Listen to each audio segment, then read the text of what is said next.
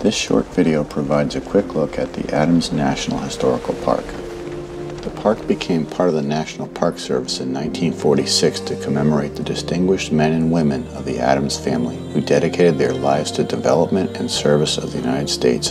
Today we will walk along the southern half of the President's Trail where we'll see the two presidential birthplaces and several other historical sites here in Quincy, Massachusetts.